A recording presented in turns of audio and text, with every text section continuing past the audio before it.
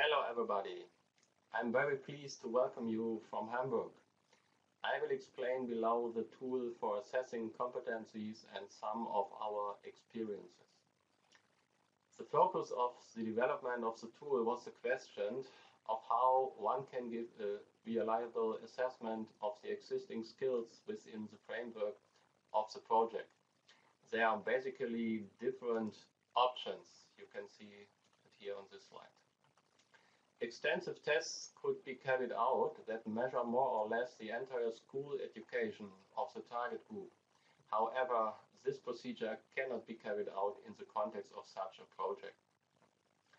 But there's also the possibility of having the competencies or skills uh, of the target group assessed by external experts and um, the evaluation by experts.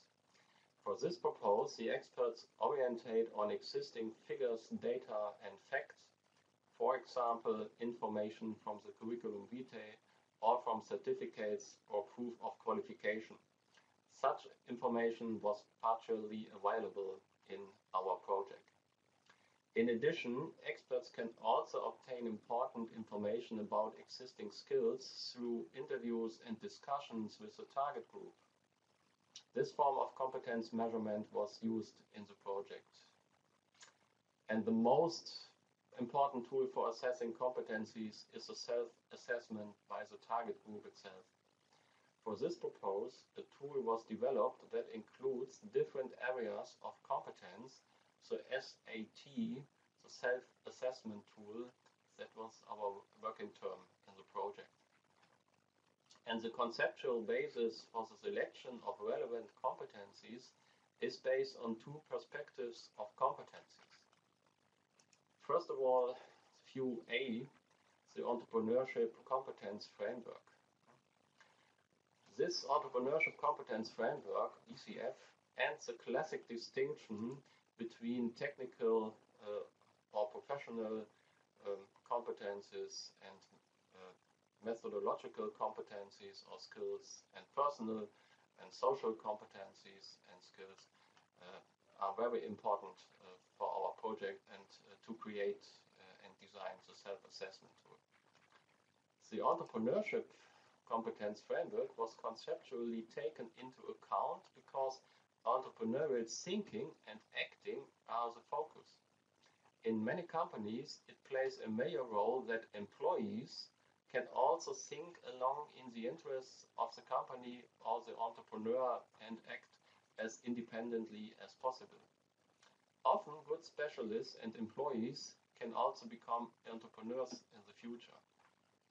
An important point in the project was the question of how refugees in the countries of residence can become qualified specialists and employees, maybe even self-employed entrepreneurs. And the online tool, you can see it here, the online self-assessment tool um, is divided into five areas. As you can see um, on this slide and the SAT in the last version the first section, you can see five sections, and the first section, uh, the participants should provide information about their personal backgrounds. Uh, for example, the home country, the age, the length of stay, residence status, and so on. And the second section of the questionnaire um, is particularly concerned with their professional backgrounds and important educational requirements. Uh, existing qualification, uh, the education level, working experience, uh, and so on. And in the third section, the different competencies play a crucial role in the self-assessment, and the items are closely re related to selected contents of the European Competence Framework. In the section 4, uh, Future Outlook, you can see it on this uh, slide on the right, the participants should give his or her assessment of their professional future. And uh, you can see it below the question, where do you see yourself in five years? Very interesting for the experts, uh, what the participants say about uh, himself, uh, where they want to stay in five years. And in the last section, there is a possibility to provide further information, wishes, uh, and ideas. Uh, they uh, had possibility to write it in a free text uh, uh, area in the questionnaire.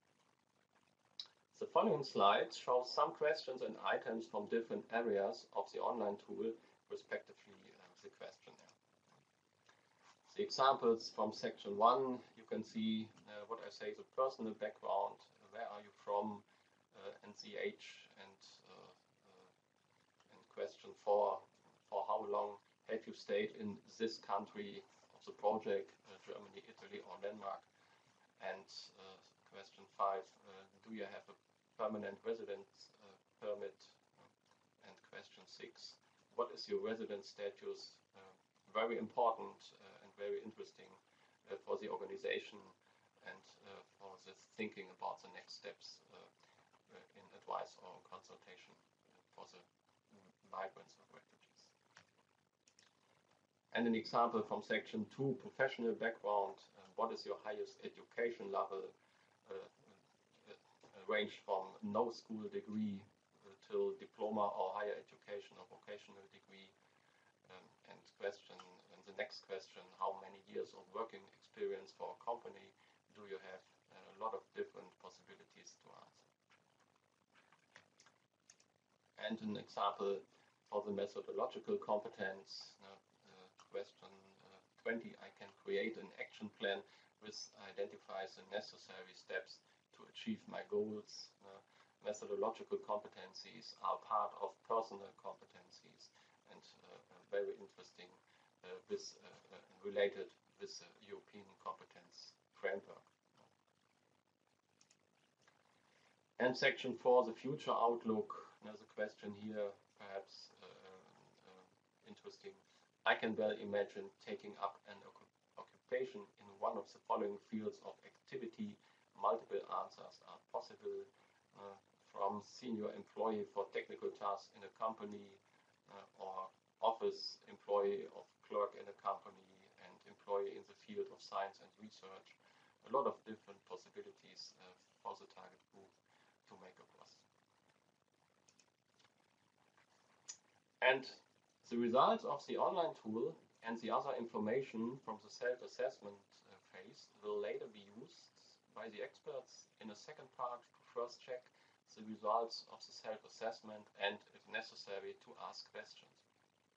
In this way, the experts also validate the existing information as experts, they know what opportunities the current job market offers. They must also be able to assess how the refugee can be integrated in the labor market. For this, the experts usually use uh, their networks. As can be seen on this slide, the results of the self-assessment must be known to the experts so that they can provide individual advice. Following this phase, uh, the third uh, step you can see, uh, following this phase, the main task of the consultants and, if necessary, other members of the organization is to plan the further procedure and further support for the refugees on the basis of the validated results. And in the fourth path, in an exchange and dialogue with the refugees and their needs, they consider which training which advice or which further support they need. And the bandwidth uh, was very high. Uh, some refugees may need additional language courses, while others may be able to do an internship in a company due to their existing skills. Others may already be able to take up work with support and assistance. And as a rule, a smaller proportion will be interested in starting their own business. Very different uh, uh, kind of uh, consultation and information about training and so on. And now you can see some of our international experiences and insights with the use of the self-assessment tool, uh, the experiences and recommendations uh, you can see on this slide. Using the online tool is a good first step in determining professional or sometimes uh, entrepreneurial skills and qualifications. It is important to include all relevant groups of people and to explain the entire procedure well. The use of the multi-stage procedure must be well prepared in the organizations. The technical requirements for the online assessment are just as important as the instruction of all those involved and especially the experts. To be able to use the tool, the participants must have sufficient language skills. And it is important to build trust and demonstrate transparent processes for the participants The participants must be made very clear that the online tool is not an exam, but a self-assessment. They can't make any mistake uh, if they make a cross uh, uh in uh, the column. Presence of a regular contact persons for participants in the competence assessment procedure is crucial. In an expert discussion with the participants and individual consultation should take place Central to this are at least the questions what knowledge and skills does someone already have as an employee or perhaps as a potential entrepreneur? And what additional support does he need? Uh, which training, counseling, and coaching? The tool is the beginning of further support and recommendations, in particular for measures of professional qualification or in individual cases for further training to become an entrepreneur in the. All in all, we are convinced that the project partners were able to implement the idea very well. I want to hope that in the future we will see each other personally at a meeting or a conference in one of our project partner countries. And stay healthy and see you soon and Many thanks for your attention from the Berufsakademie Hamburg. Um, bye bye.